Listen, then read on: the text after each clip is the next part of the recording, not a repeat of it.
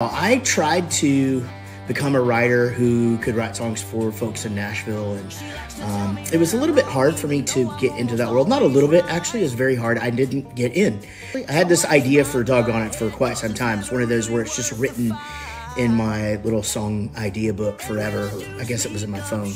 I was really holding out for a co write where I knew I could get it to an artist that I thought it would be great for, like a Blake Shelton or somebody like that. That didn't happen, so when it came time to do the new country record, I basically finally told my producer, Zac Maloy, who co wrote the record and produced it with me, I finally uh, expressed the idea for the song to him.